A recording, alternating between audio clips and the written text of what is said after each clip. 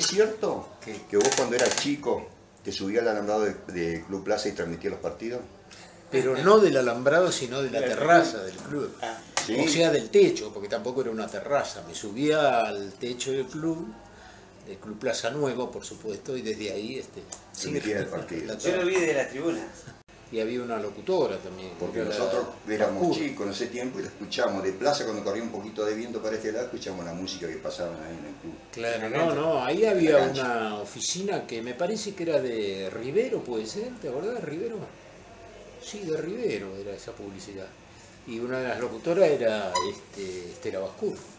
Estela Bascur, mirá vos. Claro, ah, ¿no? Estela Bascón. Sí. Estela Bascur fue locutora de esa publicidad. ¿Pero qué? ¿Vamos a hablar de esto? Y, pero No, yo quería porque está bien, tu viejo fue un baluarte ahí. eh, Ustedes vinieron de Necochea, ¿de dónde vinieron? Viejo. Mi viejo vino acá de Tres Arroyos Tres Arroyos. en el año 43. ¿A dónde fue o acá vino? No, acá, acá vino en el 43. Y de ahí eh, vino de, también Vino de peluquero, no, no, vino de peluquero. Eh, empezó a laburar con un peluquero que había en Plaza, Antonio América, Ah, sí, Ajá. conocido. Y ahí lo conoció al Cholo Avile, que era compadre de Antonio. Ah, Y el Cholo, con el Cholo hizo buenas migas enseguida. Claro, y si el eh, Aníbal le decía padrino al Cholo. Mirá vos. Eh, ahí hicieron buenas migas con mi viejo, el Cholo, el Cholo. Le dijo, usted tiene que de ser, usted tendría que estar en un mostrador, dice, contando estos cuentos. Porque mi viejo Sí. contaba cuentos. Entonces le dijo que había un llamado a licitación en el Club Plaza y dice, ¿cómo me parece que no se presentó nadie más que mi viejo? Entonces ahí entró en el Club Plaza prácticamente a los pocos meses de estar eh, acá en Plaza. En el viejo Club Plaza, donde está el, Claro, el lavadero después tuvo el fotoclub, el ahí lavadero. el fotoclub, el- ahora está el lavadero Jumita. Y bueno, ver a los jugadores de plaza, me acuerdo, éramos muy, muy pibes nosotros, imagínate, era toda una... eh, ¿A quién eh, viste? ¿A qué jugadores más te recordás más? y me re- recuerdo mucho a Tarrino, a Tarrino Solana, este, pero el, eh, al Gato Méndez, a Reseco, pero el que era medio mítico así, porque no lo conocíamos, pero se hablaba mucho de él, era Cando. Cando Betancourt. Ah. Cando Betancourt, que decían flecha, flecha, y yo imaginaba, no sé, un tipo velocísimo, ¿viste? No. Una, una saeta, pero le decían flecha porque era todo lo contrario, ¿no? Era un pesado, Esa- pero muy hábil y gran distribuidor de juego, muy delgado, este, en esa época. Ya cuando volvió de la Colima empezó a engordar. Riva, Jugaba parado prácticamente. Riva, eh, Audana. Betancur y Riva. Oh. Y después el Gato Méndez, en esa línea media, media. después Luis Lombardo. Este, bueno, eran los ídolos nuestros, ¿viste? Y acá había un campeonato de 8 o 9 equipos, era ¿Al fantástico. Púa lo viste jugar? Sí, jugué contra el Púa, sí.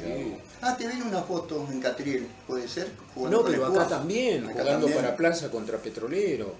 Y en Catriel sí, jugando... Juntos jugaron. Púa jugaba de Pérez Compan, puede ser, de Pecón. Yo vi varias fotos del Púa, pero en una con vos. eh. Y puede ser que haya jugado en IPF Mendiburo, ¿te también. Acordás? Sí, Mendiburo. sí. eh, ¿Quién? Mendiburo. Méndez le decían. Méndez, Méndez. eh, El Totocho. El ¿llegó? Totocho. Sí, sí, que acá jugaba de juventud. Sí. Sí, sí, él estaba en IPF. sí.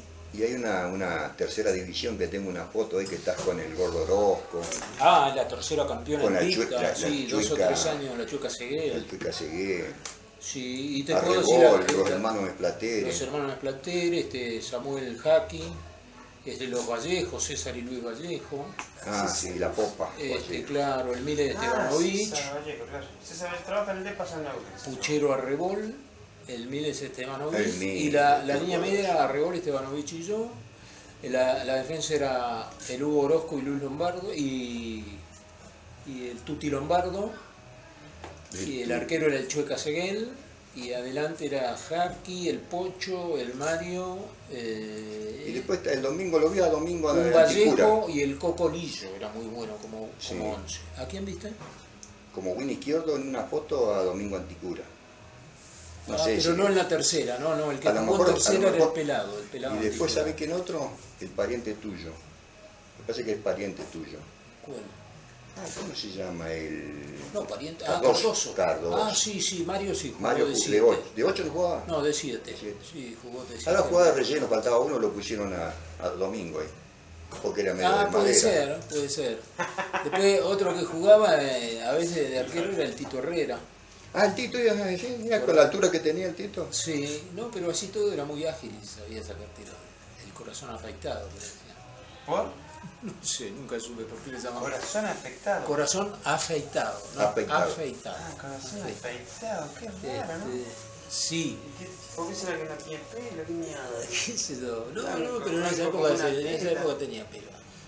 Che, te cuento una anécdota del Club Plaza. Sí, dame un. Como vos me preguntaste por alguna anécdota, yo Vete, recordí anécdotas, este, más que nada del Club Plaza, porque Más vale, donde viviste era todo. donde se daba la- la- en el buffet del club, en el mostrador del club. Había un tipo que era habitué, todos los días 6, 7 de la tarde caía el Winca Garcés, Juan Carlos, a tomar el Ah, vino al frasqueo. Le llamaban vino al frasqueo en el vaso ese de submarino, ¿viste? Eh, en el- Sí, sí, por, el por diseño, digo, ¿viste? Pero sin en la capucha, ¿no? Era ese vaso, ahí se servía vino hasta arriba, vino que compraba en Damajuan, en barriles, mi viejo, Millantú, Millacó, ¿viste? Lo teníamos ahí en el, en el depósito, llenábamos las botellas y servíamos vino al copeo, no al frasqueo, perdón, al copeo en el mostrador. ¿Por qué? Porque era la copa, digamos. la Claro, copa porque era así, un vino copeo, ¿viste? Entonces vino rosado. El Winca García se tomaba uno, se tomaba otro y miraba, y se acordaba en el mostrador y miraba las mesas de loba, ¿viste? De truco, qué sé yo, el partido de billar allá, pero siempre en el mostrador. Y, y en una de esas veces que se da vuelta, mi viejo cuando tenía, ya tenía el vaso vacío y le sirvió granadina, ¿viste? ¿Qué, qué hijo de su madre? rosado. Entonces se quedó a ver qué pasaba, ¿viste? Y el Twinca se, se mandó el vaso de granadina, supongo que con agua o con soda, pero el color era, ¿viste? Casi Como el vino. Se lo mandó todo y no dijo ni mu, el Winca. Bueno, me dijo, digo, este se la bancó un señor, dice, entonces cuando le pidió el cuarto le sirvió vino de nuevo. Y al rato el Winca dice, che, está agrio este vino. Le gustó la granadina, Sí. Dame otro porque este está agrio. Che, ¿sabés lo que le hizo una vez con los dos mellizos Ibañez en un baile? Es, es- perdóname, Sí. ese muchacho fue extra también en la, en la película Plaza Winkle. Claro, exactamente. ¿No era uno de los que bailaba? Sí. Ahí en, Sí, en el Tambo Cubito, por ahí. ¿En claro. dónde? Tambo Cubitos. Ah, sí, sí, sí. Che, otra vez este, ya iba por el cuarto o quinto vaso, era muy tomador, lamentablemente, ¿no? Y había un baile en el club. El Winca iba siempre al mostrador, hubiera baile o no, ¿viste? Y se sentaba ahí y pedía vino al copeo. Y estaban de mozo los mellizos de Ibáñez. Concha. Imagínate los mellizos de Winchi con el saquito blanco, el moñito, eran idénticos. Entonces estaban los dos parados al lado de mi viejo, al costado, porque había pausas, ¿viste? En el baile, mientras había milonga la gente no pedía nada.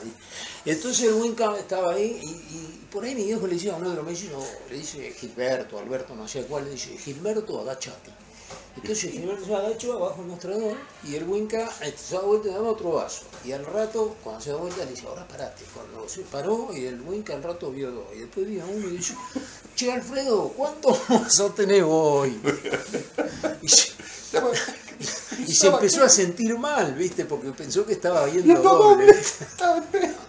Bueno, esa era la joda que hacía mi torrante. se, se diver- se divertía el viejo ahí. Che, ¿no tenés ninguna foto del viejo?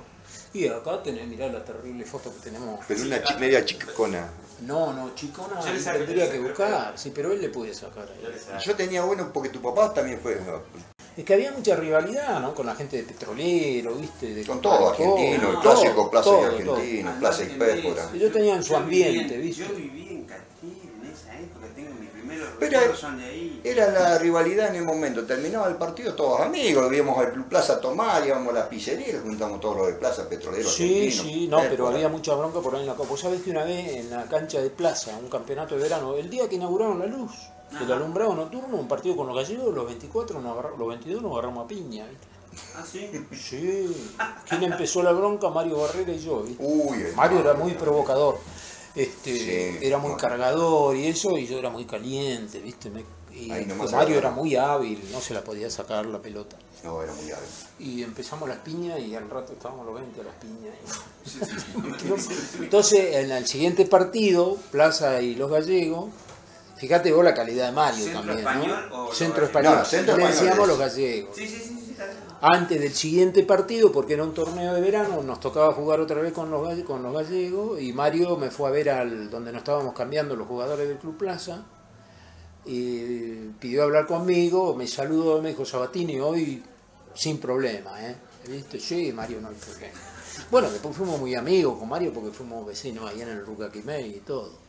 Ah, mira. Este, y hoy mismo con Ernesto, por ejemplo, que también había mucha, Era mucha rivalidad, Ernesto era ¿Quién? bravo. Ernesto Ernesto Barrera. pegaba. Con Ernesto nos acordamos ¿viste? de esa época con mucho cariño, ¿viste?